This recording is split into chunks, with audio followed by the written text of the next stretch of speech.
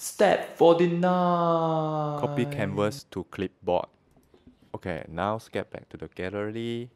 Get back to the fish you just draw.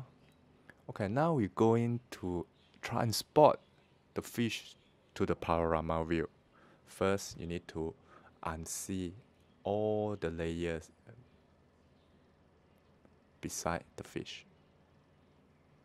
Okay, keep the fish.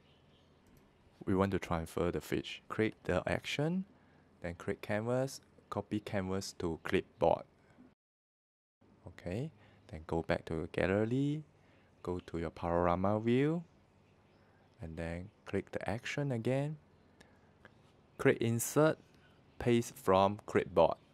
So the fish have transferred from there to here now.